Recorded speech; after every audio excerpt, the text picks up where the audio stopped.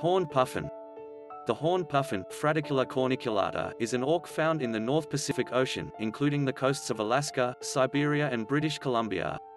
It is a pelagic seabird that feeds primarily by diving for fish. It nests in colonies, often with other auks. It is similar in appearance to the Atlantic puffin, its closest relative of the North Atlantic, but differs by a horn of black skin located above the eye, present in adult birds. The horned puffin walks upright, gripping rock surfaces with its claws, and climbs cliffs with ease. Its normal running position is made on low-density soil, usually around a hole. Horned puffins live and breed in colonies of tens to thousands or more.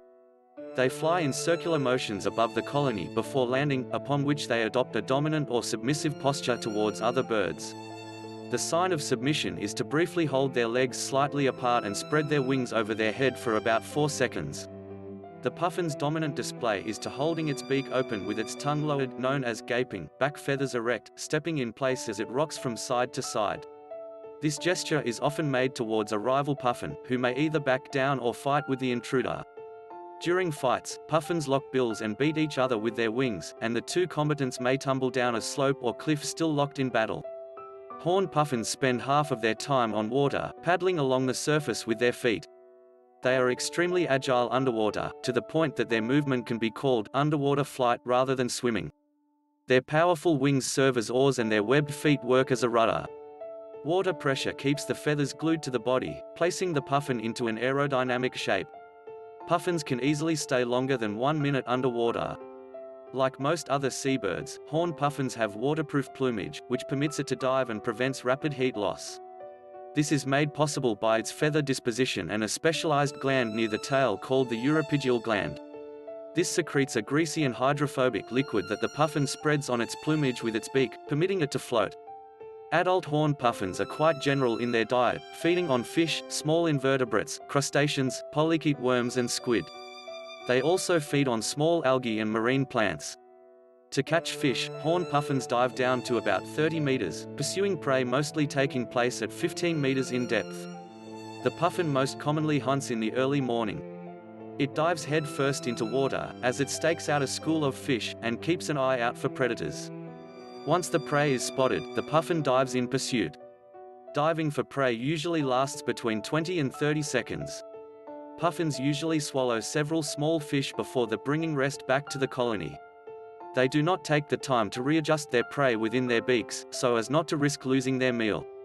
Description The height of the adult puffin is approximately 20 centimeters, the weight is approximately 500 grams, and the wingspan is approximately 58 centimeters. Horn puffins are monomorphic the male and female exhibit the same plumage coloration. Sexually mature birds have a small fleshy black horn extending upwards from the eye, from which the animal derives its common name, the horn puffin. A dark eye stripe extends backwards from the eye towards the occiput. The cheeks are white, with a yellow wattle at the base of the bill. The legs and feet are orange. The horned puffin's bill, which is larger than those of other puffin species, is red at the tip and yellow at the base. In summer breeding plumage, the bill's outer layer, the rhamphotheca, grows in size and turns bright yellow with a dark orange tip. The size and color of the rhamphotheca helps to attract a mate. The brilliant outer layers of the rhamphotheca are shed in late summer, as the face reverts to a grey and black color, and the legs and feet fade to a pale fleshy color. This phase is referred to as eclipse plumage.